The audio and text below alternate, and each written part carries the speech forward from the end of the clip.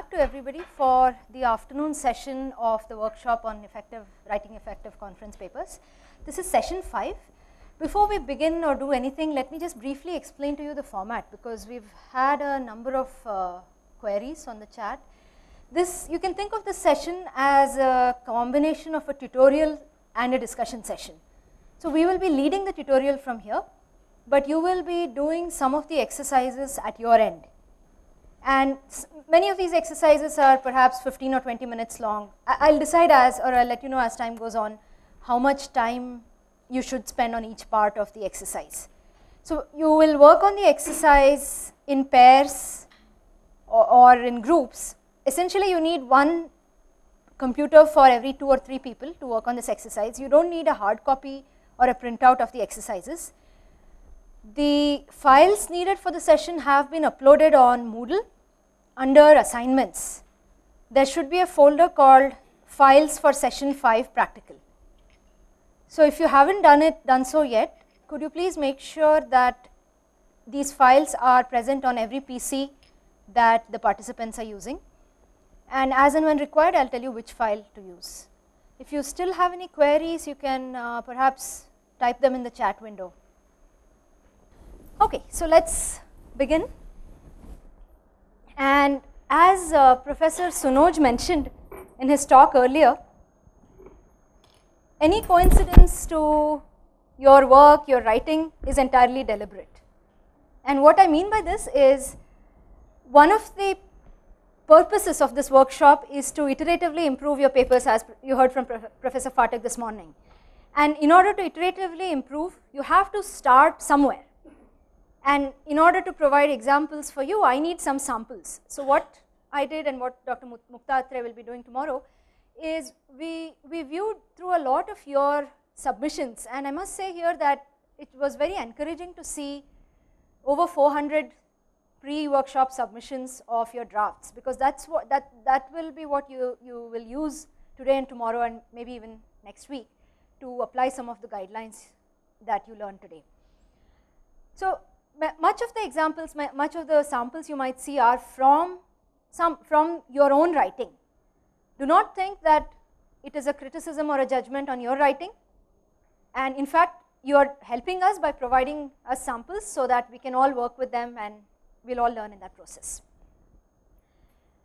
So at the end of today's session, okay, uh, please remain in the labs only. You have, you need a computer, you need a PC for the session and by you I mean every every pair or group of participants needs to be working on a PC.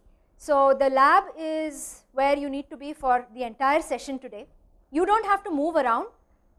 From here I will uh, I will say when you have to work on the PC and when you need to be listening to the presentation and I think your coordinator can uh, help us help you with that. Okay, let me talk a little bit more about the format and what facilities you need to have. Participants need either a laptop or a PC to work on some of the exercises, but they will be interspersed with sessions where you will need to watch the slides from here and listen to me. So ideally you would be working in a lab which also has speakers and which has a projection screen. In the absence of that what you can do is still work in the lab and I am hoping that there is at least one computer in the lab which is connected to AView. So you can use that when the session about uh, when you need to listen to me. I think most of the times you will be working on the exercises yourself except when you have to uh, hear about the instructions as to what to do with the exercises. So I hope this helps clarify what this how the session will be run. Again, if you have questions, please or if, uh, type it in the chat window. We'll try to sort out your difficulties.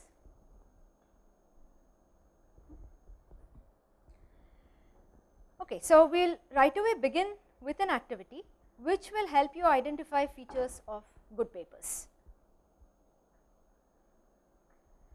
In this activity, you need to look at two papers A and B and these two papers are on the same topic and in fact they are written by the same authors except that one is a first draft and the other is a final draft. At this point beforehand you do not know which one is which.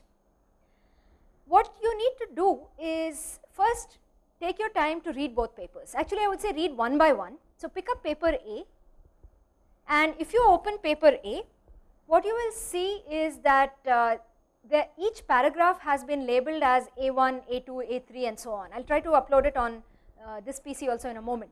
But you will be, you should be able to see paper A, both papers are only 2 pages long. Each paragraph has a code associated with it. Paper A has codes which go from A1 to A9.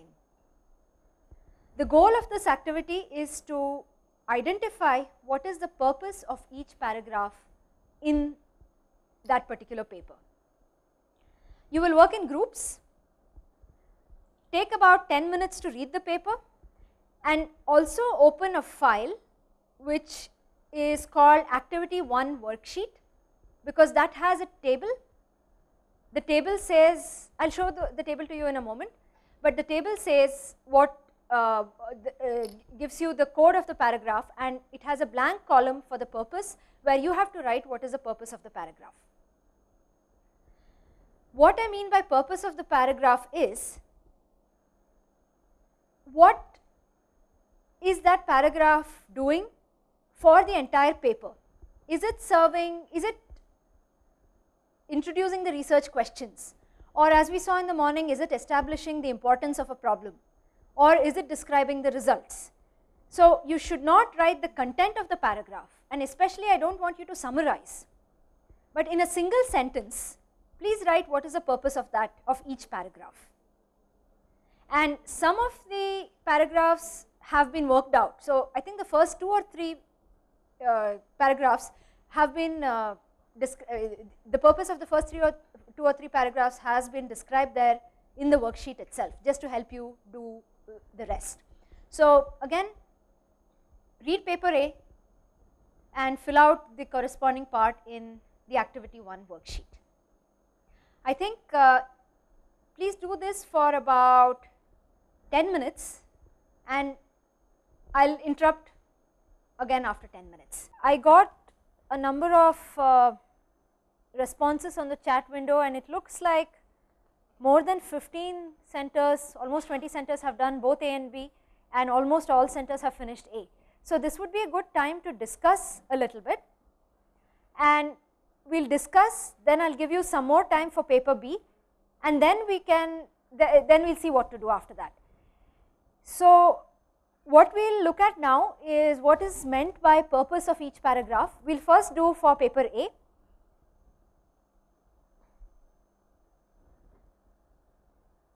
you can follow along if you have done something like that.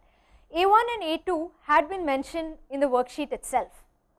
So, when you read the paragraphs, what you have to try to do is you have to get into the author's head because all you have is the write up. You only have what the author has written, you don't, you are not able to talk to them, you do not know what they were thinking, but you are trying to figure out what they were thinking by reading their writing. So, let us see if you were able to do it for paper A. In paragraph 1, the problem context is introduced, the importance of the problem is mentioned and I will just read out a few sentences where you will get these hints as to how you know whether uh, the problem context is introduced or how you know where the contribution is stated and so on.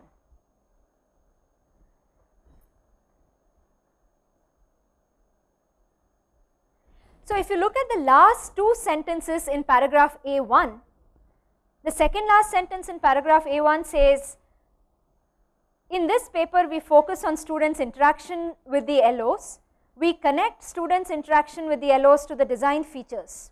Knowledge about this connection will help LO creators design them to be more effective for teaching and learning. So, the sentence we connect the interaction to the design features is what these authors are proposing and in fact not just proposing, they are doing a study to determine what is the connection between students interaction with the LOs and the uh, design features of the LOs themselves. So, the contribution has been stated upfront clearly and in the first paragraph itself. The second paragraph is perhaps more explanatory.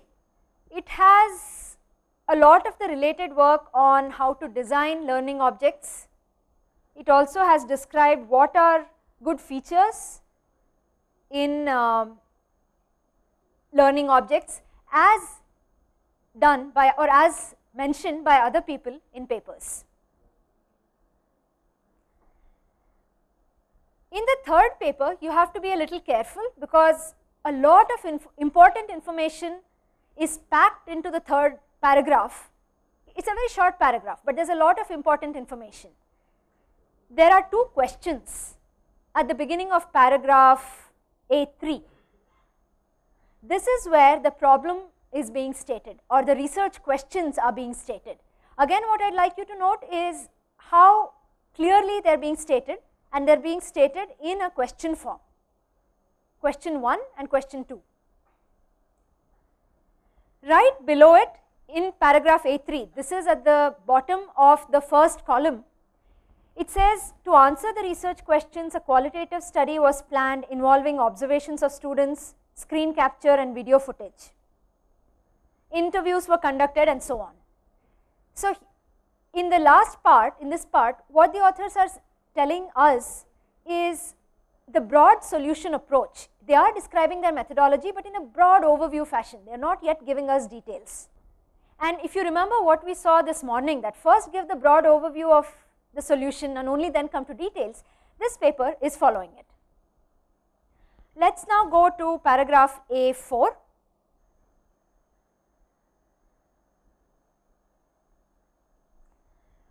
If you look at A4, A5 and A6, all three paragraphs are still describing the methodology of the study.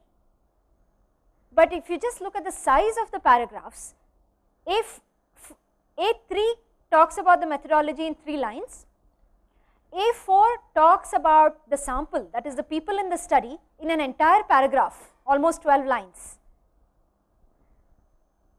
A5 and A6 describe the instrumentation, the measurement process or the measurement tool in the study and A6 talks about the procedure of the experiment.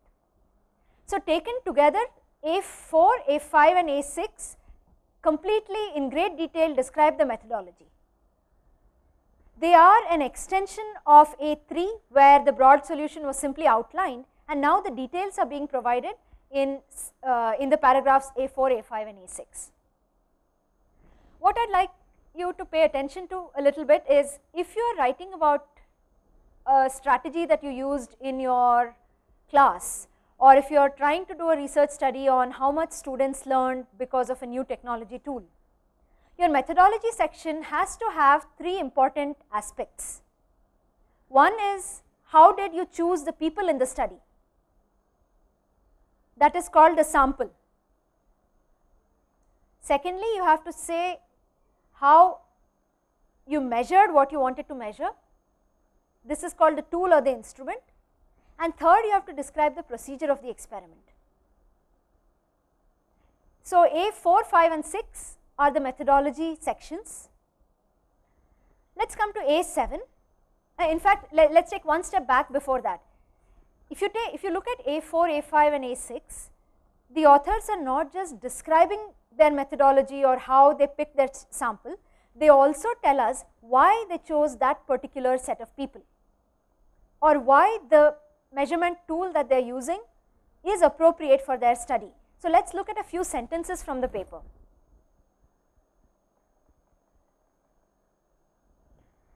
I would like you to look at the last sentence in paragraph A4. It says, we selected this group of students as we wanted to study students' response to a topic not yet covered in their syllabus. So, not only do they describe who their sample is or what their sample is, they are also telling us why it is the correct sample for their research questions. And if you remember from A3, the research question was what is the exploration procedure adopted by a student. So, they want a student who does not know about this topic and they are trying to find out how well the student is able to do a self study about this topic. Similarly, if you look at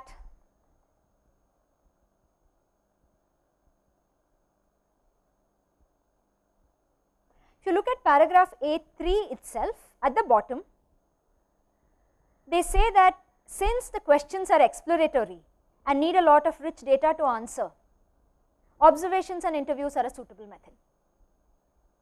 If the, the authors wanted to prove whether a teaching method was more effective than a different teaching method, they might have used a pre-test and a post-test design. Instead here, they are doing observations and interviews because they want to explore how students are interacting with a new technology. Going on to A7, A7, in A7 the authors uh, talk about how they do the data analysis, what are the different categories on the basis of which they are going to analyze the data? And they follow it up with A8 with the results where they simply apply the analysis onto the data that they have. So, the results in A8 have categories and the categories are called graphical user interface, response and feedback, response to assessment and feedback and conceptual understanding. These categories had already been chosen in their analysis section. One more thing you might want to make note of in the results section is that there are plenty of graphs. Finally, in paragraph A9, the purpose of paragraph A9 is to connect the results to the research questions. So, what this exercise or through this exercise, what we tried to do is to get into the author's minds and try to understand what they were trying to convey by means of their paragraph. And I hope you were also fairly successful in doing so because a lot of the clues into the author's mind is provided in the paper itself. I read out some of the sentences to you earlier, I pointed out some of the features. So, when we analyze papers, especially if you are a referee or even if you are trying to understand somebody else's paper, what you need to do is try to understand what is the author trying to convey by this sentence or this paragraph. It is a good idea to go at a paragraph or a section level first because sentences are too fine grained. The resolution is not is, is too fine. You won't be able to usually it's a little hard to find out what the author means by individual sentences. So, look at a whole section, look at a whole paragraph and see if the author's intent is clearly coming out of the writing. What we will do now is try to repeat this exercise for paper B. So, I will just do a quick discussion of paper B and what you may have found is that or let us do the discussion and then I will ask you another question. Okay, paper B.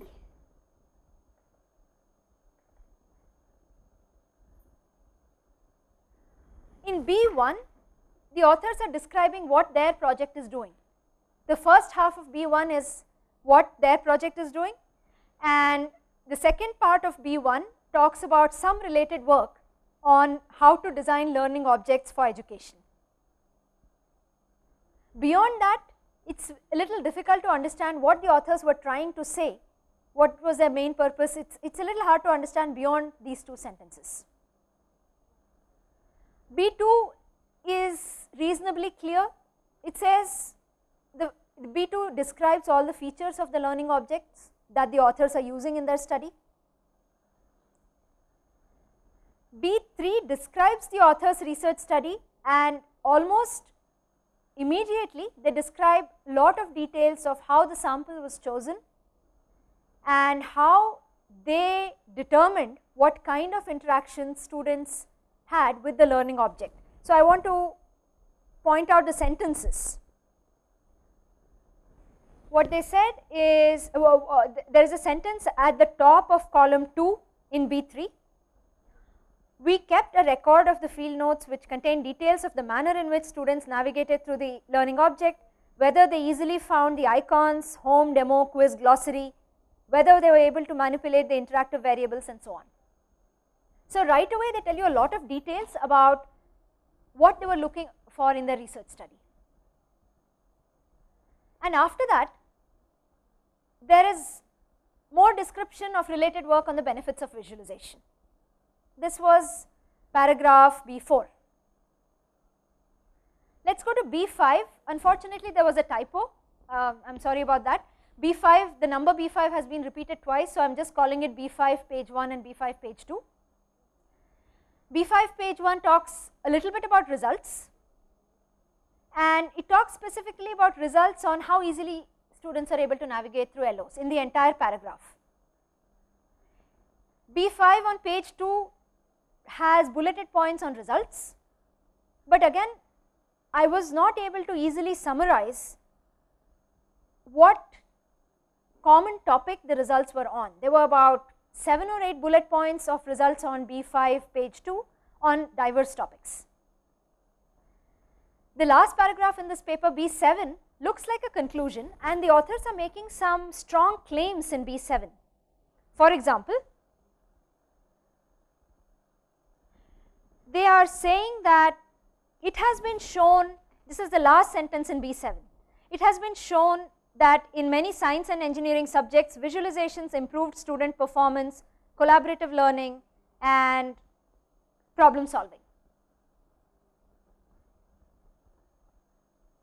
So, B7 seems like some combination of a summary and conclusion. What I have for you now is a question similar to what we did in the morning.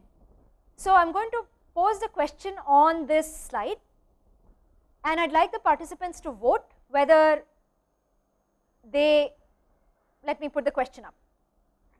Which paper did you find to be better written?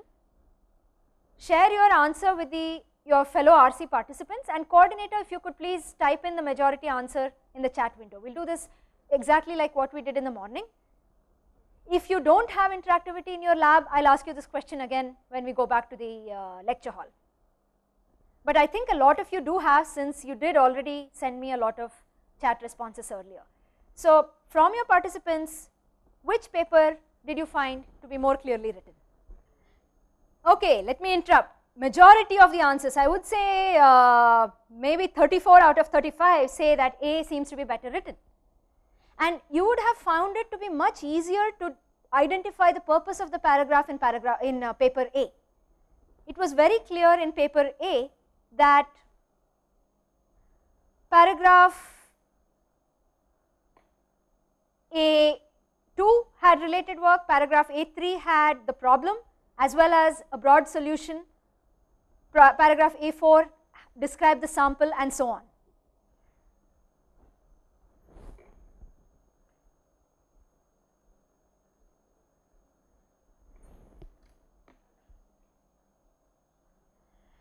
So, moreover, so the first thing we see from comparing the two papers is that in paper A the purpose is very clearly outlined, but let us also look at a few more details and I am not going to go through all of these right now. Um, I want to, let us do a few of them at least. If you look at problem A1, uh, paragraph A1, the problem is first motivated from a very broad picture. They start by saying what are the benefits of visualizations and then they say that in order for these benefits to actually take place, one needs to have good design features in the learning objects or if the good design features are not there in the visualizations, all the stated benefits may not happen. And then only then the importance of the specific work is established. So, they start with a broad picture and slowly bring the reader as Professor Sunoj mentioned earlier, there is a flow to the paper from a broad picture and they are walking you through till they talk about their own specific problem. If you look at A3, one very good characteristic there is that the research questions that the authors are trying to do is very clearly stated in the form of questions. So, a big um, guideline I would say again I am not going to call it a rule, but a very strong guideline is if you pose your problems as questions instead of statements, it is much easier for you to understand what you are trying to do and of course, it is much easier to uh, easier for the reader to understand what you were trying to do in each of the methodology paragraphs as we saw earlier, the details are described and then they are justified. Why is, why are these students chosen for my study is justified in A4. A5 says why the measurement tools or how the measurement tools capture all the data that are needed for the study. A6 is again important. Look at the amount of detailing in A6. So, I just want to take a break for 30 seconds, go back and read A6 and ask yourself if you had to repeat this experiment in your college, would you be able to do so? So, those of you who have the paper in front of you, you can do it right here.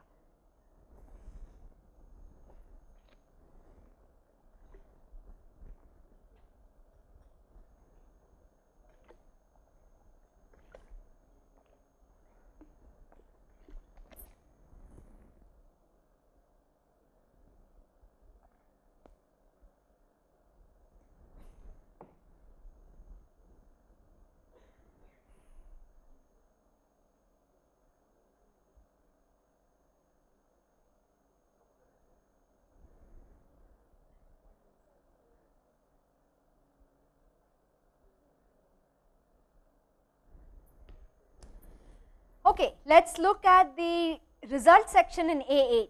Again there are important features here. You heard a session by Professor Gaitonde this morning about the importance of graphics. So, if you look at the results in paper A, you will see that bar charts are used to depict the important results. So, even if the reader has not looked through some of the earlier text, they can look at your bar charts and understand what you did and what you found. There are summary bullets classifying the results into different categories which have already been determined. So, you do not have to wonder as to which result is trying to answer which question. And this in particular I would like you to contrast with paper B. Paper B also has a lot of results, but in paper B the results are given as a long list. They may be true, they may be well, they may be correct and they may be well studied, but the reader does not know what to do with the results. The reader, does, not know how they answer the questions. One more thing you will notice in B in paper B, notice or you will notice the absence is it is not clear ever in paper B what exactly the authors are trying to do. I hope I, I would like to encourage you to go back and notice that this is one, this is hap this characteristic is missing and perhaps that is why most of you found paper B to be much harder to read. It is not badly written, the English is perfect I would say. There is some structure to the paper. So, here is an example where the authors know their English, they have done good work, but the flow is missing and the important sections that we talked about this morning, the important characteristics, questions are not mentioned. So, even though a lot of results are mentioned and even though the details of the study are mentioned, you find it very hard to follow paper B. Look at the methodology section in paper B and I am referring to, let us go back a couple of slides. I am referring to uh, paragraph B3. The authors start by describing their research study They say that we did a research study consisting of 8 students and the rest of the paragraph is about the students and about the measurement. What they do not tell you is what is the research study about, what they were trying to find out. So, they are violating the rule of overall idea first and details later. They do have the idea in their own minds, that is why they were able to do a study and get such good results, but they are not being, they are not clearly stating it in the paper. So, these two papers are illustrating to you some of the characteristics we saw in the morning. Let us talk a little bit about related prior work. Both papers talk about related prior work. What happens in paper A is the prior work is categorized and what, what I mean by categorized is all related work or all previous work related to design of learning objects appears in the same place. All previous work related to the gaps or, or related to the benefits of the visualizations appears together. So, there is a classification done of the re related work. This is one some form of synthesis that is happening. Secondly, the gaps in the related work have been identified, analyzed and stated. There is a sentence in paper A paragraph A2.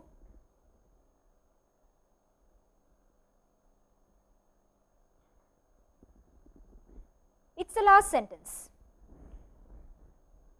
while the design of OSCAR learning objects is based on results of prior studies, we study the effect of the design and pedagogy of the objects on students in the Indian environment who are not familiar with learning by self-study.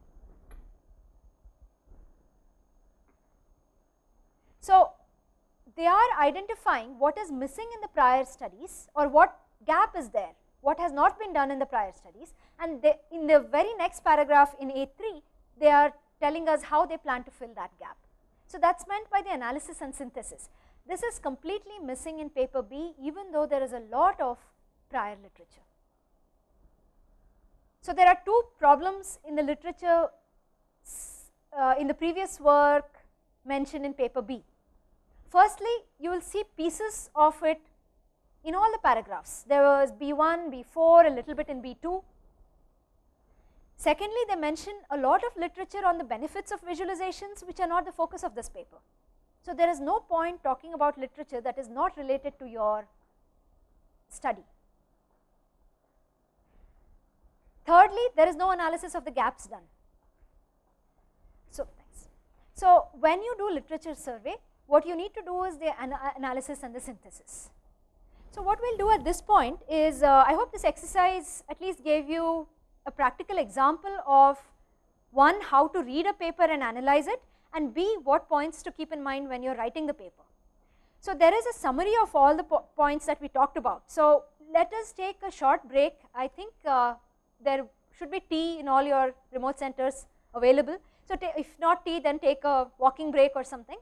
Let us reconvene at uh, 4.20, for, let us say 4.25, 15 minutes and we will do two things. We will spend about 20 minutes on summarizing the characteristics of a good paper 15 to 20 minutes since we have done it a couple of times and uh, we will not do any more activities. I will open up the forum for discussion because we have not done any interaction today except through chat window.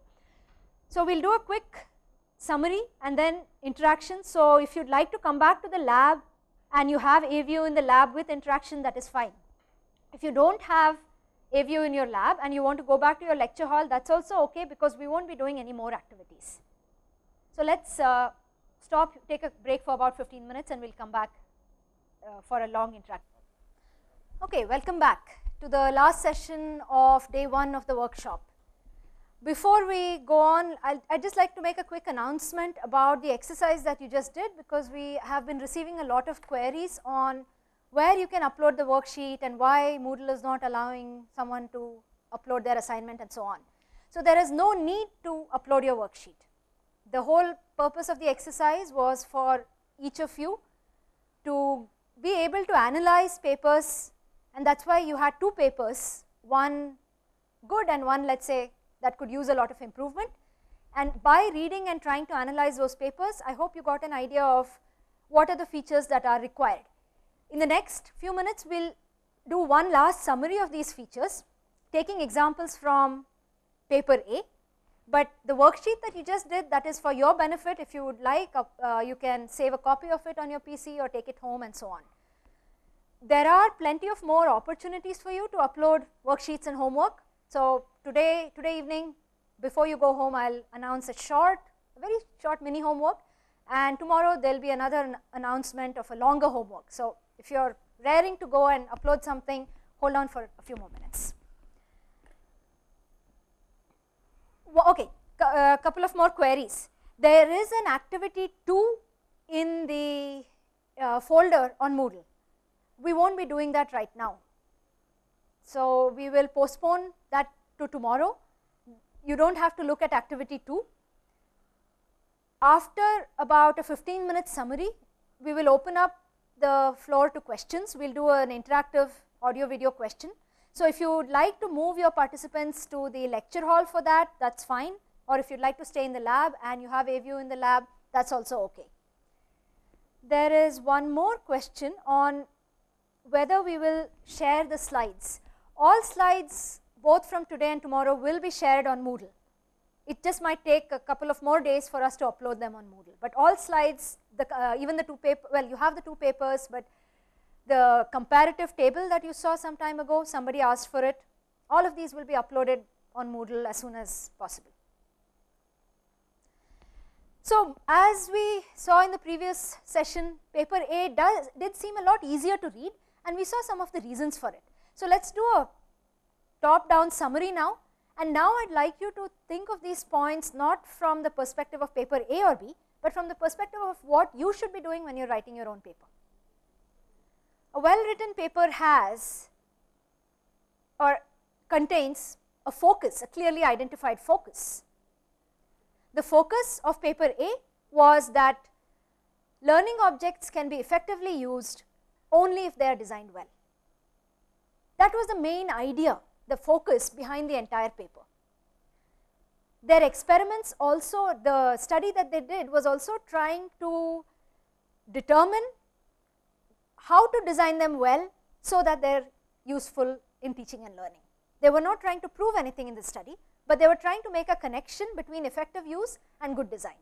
So, that was the single key focus in paper A. It was not about the benefits of visualizations, but it was a connection between effective use and good design. Next, key contribution of the paper clearly stated. We spoke about this in the morning and I think we also discussed this when we were looking at paper A. There is a sentence, first paragraph, last line, it is a fairly prominent position.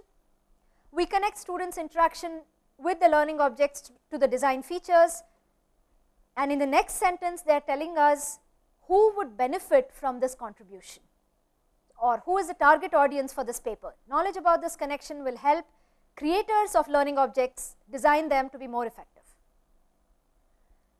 So, lesson for all of us writing is state your contributions clearly and put them in a place where they are easily found the general recommendation is to put them in your introduction.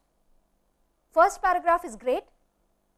If your introduction has two or three paragraphs, put them somewhere boldly in the introduction. Next point, problem clearly stated in the form of questions. So, here you saw an actual example from a real research paper which does that. What it does not say here is what not to do. Well, but you saw paper B. Paper B said we did a research study. So, a problem is not what you did, it is the questions that you would like to be answered via your paper. It is easiest to fulfill this goal to clearly state the problem if the problem is in the form of a question. Because then you can read, reread your results and see if they answer this question and if they do not, you know that something is inconsistent. Maybe you have to repeat your study or maybe you have to do it with a different sample. Or maybe the questions you were asking were just too difficult. But the moment you have questions, the entire paper can focuses or the, the reader's attention at all times is towards the questions. It anchors the paper. Importance of the problem well explained. We again saw that this was an important feature this morning and in paper A, there was a sentence which says that the use of learning objects can lead to effective teaching and learning only if they are designed well, they need to be pedagogically rich and so on. So, this was the key focus of the paper, but this is also why doing the study is important, why answering the questions you saw in the previous page are important. So, if we know that good design leads to better learning or more effect, I will not say better learning, if we know that good design leads to more effective use, then we better know what those good design features are. Next point, related work stated and analyzed. I think when we were looking at the tables, we saw this. What you, I would like you to focus on is how related work has been themed in this paragraph. The two themes are student use of computer simulations to engage with and explore science topics. That is one theme. Second theme is design development and use of multimedia learning objects. So, there is a clear theme. They may have read 10 papers, they may have cited 10 papers in their or 10 journal articles in their research paper, but they have all been categorized into clear themes which again are related to the research questions because design and use of multimedia learning objects have to deal with the research questions. We did talk about analyzing the gap in the paper, that is the bottom paragraph here, that what is not present in the paper or what is not present in previous work needs to be stated clearly and that is the basis of the research questions. Results are easily understandable, clear and for scientific presentations it usually means include tables, graphs, bar charts, scientific diagrams, flow diagrams, flow charts, block diagrams depending on what domain you are from. So, the two papers you compared had to do with the teaching and learning using technology, but these guidelines that emerge from it hold true in all papers. In fact, Professor Gaitonde spoke, uh, his entire session was on how to make diagrams more understandable. So, I do not have to talk to you about the importance of this. Again, if you want a, an example of a bad, if you want a bad example, think of paper B. Lots of results, but not clearly understandable. Solution, explain it with overall idea first and details later. So, in paper A, paragraph A3, explain the overall idea that a study was planned, it involved observations, screen capture and video and why this study is suitable for the research problems. That is all it says in the overall idea, that is sufficient. The details were the sample tool and procedure, one large fairly large paragraph each. Solutions were not just described and explained, they were also defended. And what defense means is firstly, good results are a good uh, provide a fairly valid justification for the solution approach or for the idea that you have that you think would solve the problem. So, results are clearly shown, but not just that they are reconnected to the problem. It is closing the feedback loop that you pose a problem, you suggest how to solve it, you solve it and get results and now you show that hey look the results actually indeed solve the problem that I had posed a few paragraphs ago. I think this appears in the last paragraph of paper A that students navigated through the learning object on their own accord without and uh, without following any particular order and shifted between the various sections of the object. And somewhere else in the paper it was written that these were the design features that were incorporated in the learning object that students were given the opportunity to go back and forth between the different sections. So, here they are saying that the results seem to confirm it is preliminary evidence still they are not making they are not proving anything but they are finding a pattern or a connection between students behavior and the intended design features of their learning objects. So, after you write your results usually you will write a section you may title it discussion or you may just simply call it results and discussion. It is the part that comes along with and right after the results where you have to make sense of the results. You have to say why are the results important, how do they reconnect to the problem. That is how you will defend your solution. Okay, uh, what I would like you to do is or what I will do for you is go back to the table for a moment. Let us look at paper A and simply look at the purpose and now please concentrate on the order because so far we know what is inside each section. Now let us just look at the order and the sequence problem context introduced, importance mentioned, contribution stated, related work, broad solution, then details of solutions in A4, A5, A6. A7 is data analysis, A8 is results, 9 is connect results to research questions. So, what pap this paper A is doing in addition to the other characteristics is having a coherent, consistent and uh, mainly it has a coherent flow which contains all of these. I am not saying that this is the only order you have to follow, but whatever the flow is it has to be coherent. One violation of the coherence as we saw earlier is if you give a lot of details first and do not describe the overall idea. Another violation is if you do not talk about the problem at all, the research question and jump into the answer, that would break the coherence in the flow. So, that is about it for what are the aspects of a well written paper and I think we have had several activities and several sessions where we have talked about it. what we will do tomorrow is now see how to take an idea of some some problem, some idea that you have and I'll, describe how we can do it and convert it into a research article. And when we do it, we have to make sure that all these features are present. In the process, we can also talk a little bit about what are the different sections that must be there in the paper and so on. But it doesn't really matter to the referee what you call the section, whether you have a separate section called discussion or merge it with results, or whether you have a bold title called methodology. But what the referee is looking for are all these features.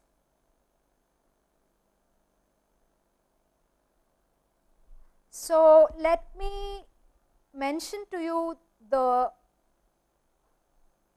as I had promised, mention to you the homework that I would like you to think about today. So, today's is a really short homework, give me a moment.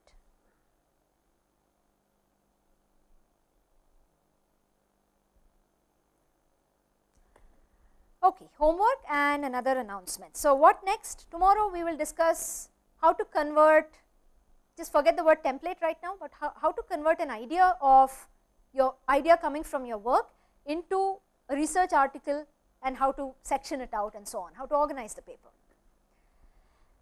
So, I want to make a quick digression. It seems like a digression right now, but you will see how it is connected to what we have been talking so far.